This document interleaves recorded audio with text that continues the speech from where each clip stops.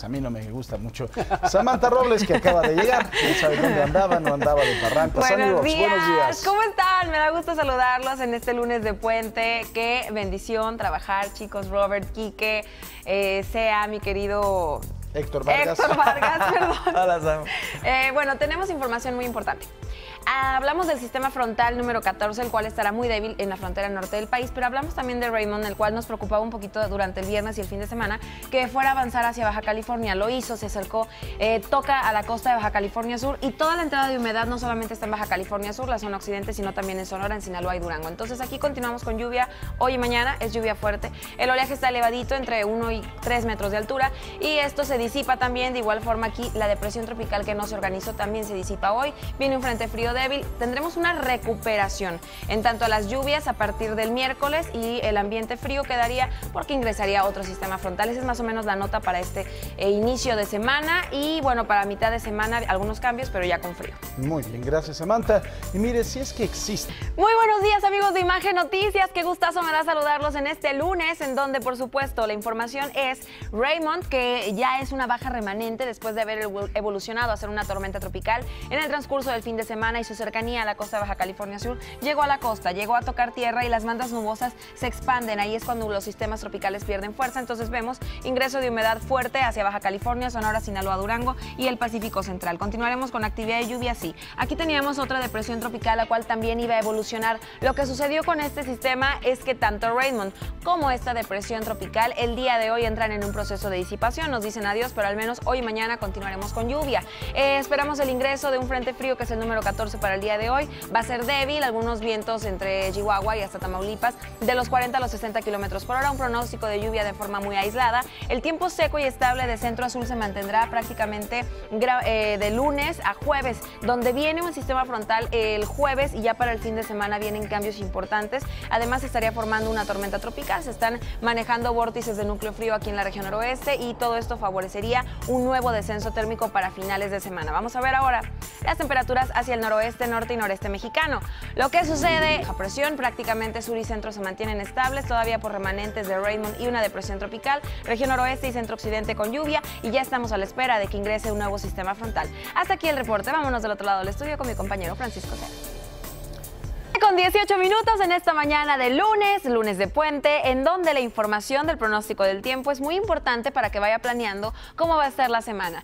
Resulta ser que la baja remanente de lo que fue Raymond, incluso evolucionando como una tormenta tropical, se desplazó hacia el nor-noroeste, una velocidad promedio de 7-9 kilómetros, iba más o menos rapidito, esto fue en el transcurso del viernes sábado, el domingo en el transcurso de la tarde, se acercó a la costa de Baja California, por supuesto pega. Cuando los sistemas tropicales pegan en costa o pegan en tierra, las bandas nubosas se expanden, se hacen muy grandes y ahí es cuando en su núcleo pierde fuerza. Evidentemente necesitaríamos que un sistema esté muy lejano a costas para que agarre agua, vientos y demás y después impacte y este no fue el caso afortunadamente. Además es importante saber que el 30 de noviembre y ahora sí no tendríamos la aparición de ningún sistema eh, tropical. Entonces tenemos, bueno, a Raymond desplazándose sobre la costa de Baja California Sur, todavía las bandas nubosas del sistema que ya no mantienen vientos sostenidos en su núcleo, solamente lluvia. Baja California, Sonora, el estado de Chihuahua, Sinaloa, Durango y la zona centro-occidente. Entonces vemos también que se estaba formando en aguas del Pacífico una depresión tropical, aquí justo a la zona costera de Nayarit, Jalisco, Colima y Michoacán.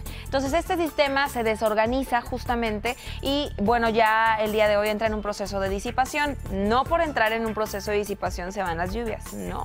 Hasta que mañana ya finalmente se limpie la condición de cielo en la región noroeste y centro-occidente, dejaríamos el potencial de lluvia solamente aislado, pero al menos hoy es moderado y fuerte. Entonces vemos en la frontera norte, ¿qué es lo que va a suceder? Ingresa el Frente Frío 14, bien importante hablar de él, porque viene débil. Es un sistema que solamente va a generar vientos en promedio a los 60 kilómetros por hora para el estado de Chihuahua, Coahuila, Nuevo León, Tamaulipas, aunado a los nublados, el pronóstico de lluvia también es ligera y moderada.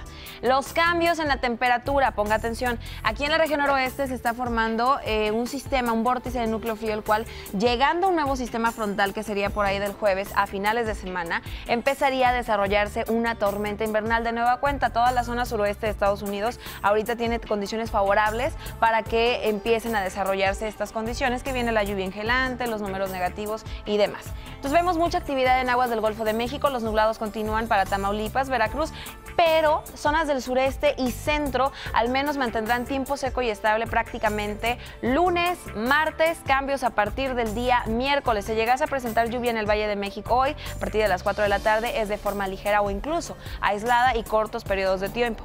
Vamos a ver ahora las temperaturas justamente en la Ciudad de México en donde lo que le comento, a pesar de los periodos de sol, el pronóstico de tormenta de forma aislada o moderada es a partir de las 4 de la tarde. Recuerdo, los intensifica a partir de eso de las 6, 7. Y vamos a un lunes de máximas de 24, mínimas de 11. Es una recuperación en las mínimas, si se da cuenta. La semana pasada estuvimos entre 8 y 9 grados al despertar. Hoy son 11, 13 grados, ya lo decía Efren, es una mañana fresca. Y así nos vamos para martes y el miércoles, ahora sí cambios en la zona centro y en la parte oriente por la llegada e ingreso de un frente frío hacia el norte del país. Guadalajara, Jalisco, Occidente Centro, ¿cómo están? Buenos días. ¿Cómo la pasaron? ¿Andan por allá todavía de, viaje? Mínimas de 13 grados, máximas de 25, cielos parcialmente nublados. Como no hay nada ahorita y teníamos una depresión tropical que amenazaba, ahorita ya es una remanente también, para martes llegamos a 27 grados y el miércoles se mantiene una condición cálida por la tarde, incluso templadita, y por la mañana son condiciones frescas, 13, 14. Monterrey, Nuevo León en la Sultana del Norte a los regios chulos de mi corazón. Vamos a máximas de 26. Los cielos están despejados y las mínimas en 16. Aquí nos podemos dar cuenta, de hecho en Monterrey es cuando vemos cuando el panorama cambia a contraste. Entonces vemos un martes y un miércoles excelente, 27, 28 grados, mínimas de 17, 18 y veíamos que hasta el jueves iba en la región noroeste empezar a formar un sistema que iba a generar un descenso térmico para finales de semana. Entonces prácticamente toda la semana hay que mantenerse bien, bien hidratados. Ahora, en Puebla, las temperaturas mínimas en el oriente muy similares a las de la Ciudad de México, hablamos de 11-12 grados centígrados, un lunes de 24. Para lunes, martes y miércoles, las máximas tal cual, entre 22 24 grados. El pronóstico de lluvia es escaso en el oriente del país, de hecho se mantendrá prácticamente toda la semana tiempo seco y estable. En eh, Tijuana, Baja California, el cielo se mantiene con condiciones de nubosidad ligera, no hay pronóstico de lluvia, vamos a 31 grados centígrados. Las temperaturas en Baja California son altas, a pesar de que llegaron los remanentes de este sistema Raymond. Las condiciones no se modificaron tanto, se modifica con el ingreso y la formación de una tormenta invernal, se lo decía. Vemos un martes ya de mucho contraste, pronóstico de lluvia, mínimas de 13, máximas de 23, y un miércoles donde la temperatura sigue descendiendo y se va a sentir más fuerte en Baja California, en Chihuahua y en zonas de de montaña de Durango. Hablaremos que durante la semana va a ir descendiendo a un pico de casi 0 grados centígrados, entre 0 y 5 grados al despertar. Y en León, Guanajuato, las condiciones máximas llegan a 25 grados y las mínimas se quedan en 11. Cielos parcialmente nublados para lunes, martes, miércoles, occidente, centro y bajío. Condiciones muy buenas, incluso en el Valle de México. Todos los cambios de miércoles a finales de semana. Mientras tanto, a disfrutar este lunes de puente. Gracias a Dios tenemos condiciones de cielo favorable y hasta el momento ningún sistema ni tropical ni frente frío que nos esté afectando de más. Pues hasta aquí el reporte. Vámonos a un corte comercial y regresamos con mucha más información aquí en Imagen Noticias. No le cambie. Para eso, ¿no? Las vimos en su momento en el segundo piso y eran las que ponían las ballenas, estas que son súper pesadas. No sé por qué utilizan grúas tan grandes ahí en la plancha del Zócalo. Son grúas muy grandes que alcanzan hasta 25 toneladas.